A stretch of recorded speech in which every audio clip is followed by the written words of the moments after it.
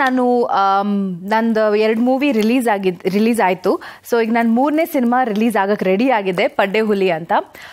ಈ ಶೂಟಿಂಗ್ ಮಾಡಬೇಕಾದ್ರೆ ನಾನು ಯುನೋ ಫುಲ್ ಕಾಲೇಜ್ ಲೈಫ್ ನನಗೆ ಮತ್ತೆ ಮತ್ತೆ ನೆನಪಾಗ್ತಾ ಇತ್ತು. Because almost you know college ಇಂದ ಸ್ಟಾರ್ಟ್ ಆಗುವಂಥ ಲವ್ ಸ್ಟೋರಿ ಇದು. ಸೊ ತುಂಬಾ ಎಂಜಾಯ್ ಮಾಡಿದ್ವಿ. ನಾನು ಮತ್ತು ಶ್ರೇಯಸ್ ಅವರಾಗಿರ್ಬೋದು ಅಥವಾ ನಮ್ಮ ಡಿರೆಕ್ಟರ್ ಗುರುದೇಶ್ ಪಾಂಡೆ ಆಗಿರ್ಬೋದು ಫುಲ್ ಆ್ಯಂಡ್ ಮೋಸ್ಟ್ ಶೂಟಿಂಗ್ ದಾವಣಗೆರೆಯಲ್ಲಿ ಕಾಲೇಜ್ ಶೂಟ್ ಫುಲ್ಲು ದಾವಣಗೆರೆಯಲ್ಲೇ ಮಾಡಿದ್ವಿ. ಸೊ ದಾವಣಗೆರೆಯಲ್ಲಂತೂ ತುಂಬಾ ಮಜಾ ಮಾಡಿದ್ವಿ ನಾವು. ಅಲ್ಲಿನ ಕಾಲೇಜ್ ಸ್ಟೂಡೆಂಟ್ಸ್ ಆಗಿರ್ಬೋದು, ಅವ್ರು ಎವ್ರಿ ಡೇ ಬರ್ತಾ ಇದ್ರು ನಮ್ಮ ಶೂಟ್ ನೋಡೋಕ್ಕೆ ಆ್ಯಂಡ್ ಅವ್ರಿಗೆ ತುಂಬ ತುಂಬ ತುಂಬ ಕ್ಯೂರಿಯಾಸಿಟಿ ಇತ್ತು. ಸೊ ನಮ್ಮ ಜೊತೆ ಅವರು ಬಂದು ಜೂನಿಯರ್ ಆರ್ಟಿಸ್ಟ್ ಆಗೆಲ್ಲ ಆ್ಯಕ್ಟ್ ಮಾಡ್ತಾಯಿದ್ರು ಸೊ ನನಗೆ I can't wait for the release ಅದಾದಮೇಲೆ ಈಗ ನಾನು ರೀಸೆಂಟಾಗಿ ಜೆಂಟಲ್ಮ್ಯಾನ್ ಅನ್ನೋ ಒಂದು ಸಿನಿಮಾ ಸೈನ್ ಮಾಡಿದ್ದೀನಿ ಪ್ರಜ್ವಲ್ ದೇವರಾಜ್ ಸರ್ ಜೊತೆ. ತುಂಬಾನೇ ಎಕ್ಸ್ಪೆಕ್ಟೇಷನ್ಸ್ ಇದೆ ಈ ಮೂವಿ ಬಗ್ಗೆ.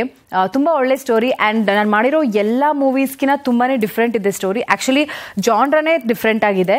And I'm playing nutritionist role play ಮಾಡ್ತಾ ಇದ್ದೀನಿ ಇದರಲ್ಲಿ. ಸೊ ಹೋಪ್ಫುಲಿ ಶೂಟಿಂಗ್ ಇನ್ನು ಹದ್ ಐ ಥಿಂಕ್ ಸೆವೆಂಟೀನ್ತ್ರಿಂದ ಶೂಟಿಂಗ್ ಸ್ಟಾರ್ಟ್ ಮಾಡ್ತಾ ಇದ್ದೀನಿ. ಸೊ ತುಂಬಾ ಖುಷಿಯಾಗಿದ್ದೀನಿ ನನ್ನ ಈ ಪ್ರಾಜೆಕ್ಟ್ ಶುರು ಮಾಡೋದಕ್ಕೆ. ಅದು ಬಿಟ್ಟು ನನಗೆ ಒಂದು ಯುನೋ ಟ್ರೂ ಸ್ಟೋರಿ ಮೇಲೆ ಬಿಲ್ಡ್ ಆಗಿರೋವಂಥ ಒಂದು ಮೂವಿ ಮಾಡಬೇಕಂತ ತುಂಬಾ ಇಷ್ಟ.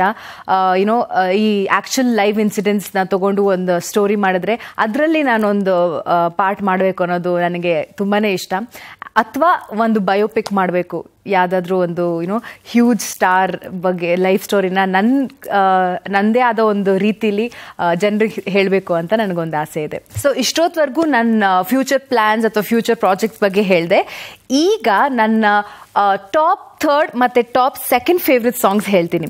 ಸೊ ಟಾಪ್ ಥರ್ಡಲ್ಲಿ ನನಗೆ ಟಗರು ಸಿನಿಮಾದ ಟೈಟಲ್ ಸಾಂಗ್ ತುಂಬಾ ಇಷ್ಟ.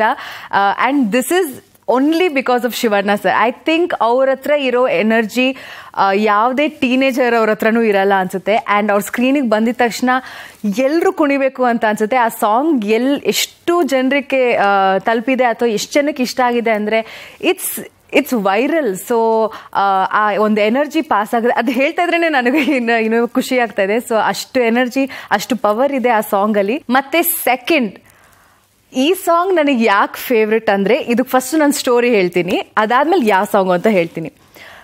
ನಮ್ಮ ಮನೇಲಿ ಅವಾಗವಾಗ, ಅಂದರೆ ನಾವು ನಮ್ಮ ಮಮ್ಮಿಗೆ ಐದು ಜನ ಅಕ್ಕ ತಂಗಿ ಇದ್ದಾರೆ ಸೊ ನಾವೆಲ್ಲರೂ ಹಬ್ಬಗಳಲ್ಲಿ ಜಾಸ್ತಿ ಮೀಟ್ ಆಗ್ತೀವಿ. ಸೊ ಹಬ್ಬಗಳಲ್ಲಿ ಅಥವಾ ಬರ್ಡೇಸ್ಗೆ ಮೀಟ್ ಆದಾಗ ಐ ಥಿಂಕ್ ಒಂದು ಡಾನ್ಸ್ ಸೆಷನ್ಸ್ ಅಂತೂ ಎಲ್ಲ ಫ್ಯಾಮಿಲಿ ನಡೆಯುತ್ತೆ. ಸೊ ಈ ಸಾಂಗು ಮೋಸ್ಟ್ಲಿ ಪೇ ಪ್ಲೇ ಆಗೋದು ನಮ್ಮ ಫ್ಯಾಮಿಲಿ ಅದು ಯಾವುದು ಅಂದರೆ, ಬೆಳ್ಳಿ ಮೂಡಿತೋ, ಕೋಳಿ ಕೂಗಿತೋ ಬೆಳ್ಳಿ ಮೂಡಿತೋ, ಕೋಳಿ ಕೂಗಿತೋ. ದಿಸ್ ಇಸ್ ಇದು ಮಸ್ಟ್ ನಮ್ಮ ಫ್ಯಾಮಿಲಿಯಲ್ಲಿ ಈ ಹಾಡು ಪ್ಲೇ ಆಗಿಲ್ಲ ಅಂದರೆ ಅದು ಪಾರ್ಟಿನೇ ಅಲ್ಲ. ಸೊ ಆ ಥರ ಒಂದು ಯುನೋ ನಮ್ಮದು ಅದು ಫ್ಯಾಮಿಲಿ ಟ್ರೆಡಿಷನ್ ಅಂತಲೇ ಹೇಳ್ಬೋದು. That is why this is my second most favourite song so ನೀವು ನನ್ನ ಈ ಥರ್ಡ್ ಫೇವ್ರೆಟ್ ಸಾಂಗ್ ಮತ್ತು ಸೆಕೆಂಡ್ ಫೇವ್ರೆಟ್ ಸಾಂಗ್ ಕೇಳ್ಕೊಂಬನ್ನಿ